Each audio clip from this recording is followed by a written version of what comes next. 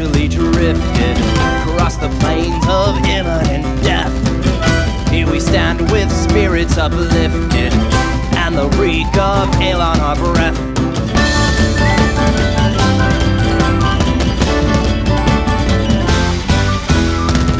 Every horse was gallantly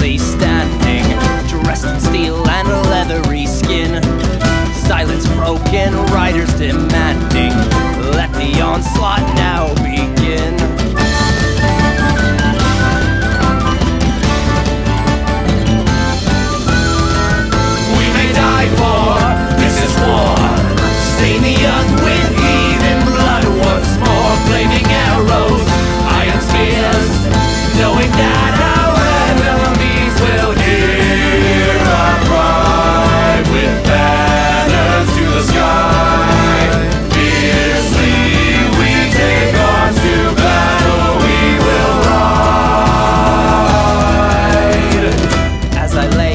broken and bleeding With my long bow, dagger, and shield.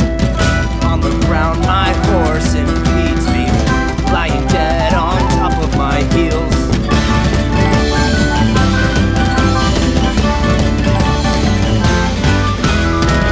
So my comrade